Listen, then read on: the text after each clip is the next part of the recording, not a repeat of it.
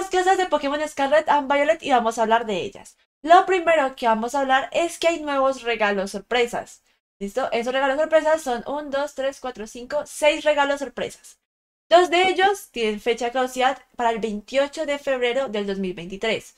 Uno, el 7 de marzo del 2023 y otros dos, 14 de marzo del 2023 y el último, el 31 de marzo del 2023.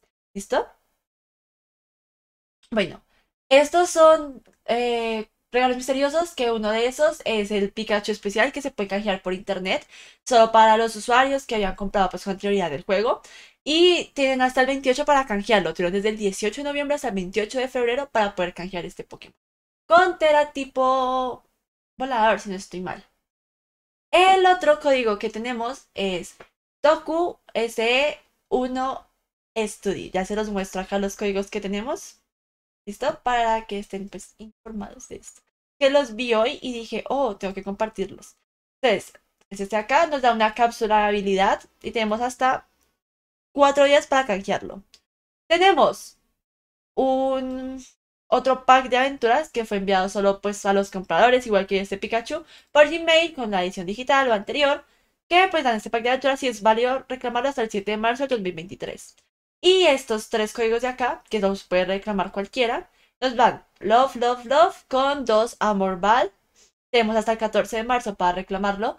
Happy Valentine, que es un lazo destino, hasta el 14 de marzo también para reclamarlo. Y Let's Terra. Let's Terra.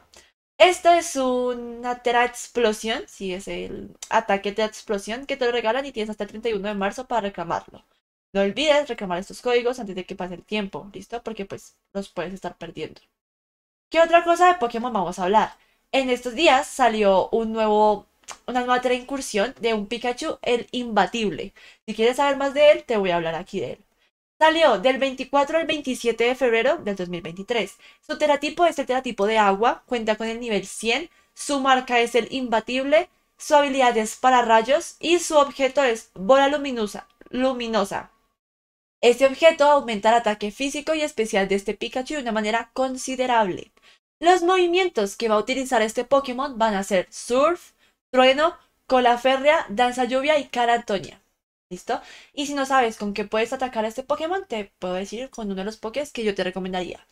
Te recomienda que se utilice contra Pikachu el imbatible a Cold Sword como soporte y Pokémon tipo plata con ataque especial bueno.